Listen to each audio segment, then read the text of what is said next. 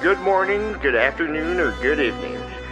Everyone knows the story of RMS Titanic. On the evening of April 14th, she collided with an iceberg and sank 2 hours and 40 minutes later.